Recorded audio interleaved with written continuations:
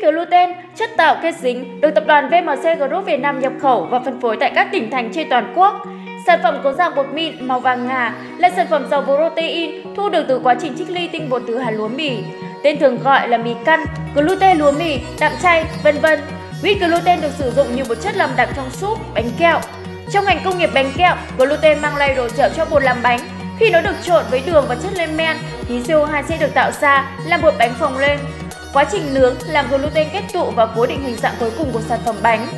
Wheat gluten được dùng trong nhiều loại thực phẩm chế biến sẵn như kem, nước dùng, đồ hộp, chả cá, vân vân. Đặc biệt nó được dùng thay thế thịt trong nhiều món ăn chay nên được gọi là đạm chay. Trong thức ăn cho vật nuôi, gluten có thể được bổ sung vào quá trình chế biến thức ăn để tăng hàm lượng protein. Đặc biệt phổ biến hiện nay, wheat gluten được sử dụng làm chất liên kết giữ nước cho các sản phẩm giò chả, xúc xích, chả cá. Phía trên là toàn bộ thông tin, sản phẩm wheat gluten. Nếu có bất cứ thắc mắc gì, vui lòng liên hệ đến số hotline 0947 464 464 hoặc để lại comment bên dưới clip này để được hỗ trợ tốt nhất.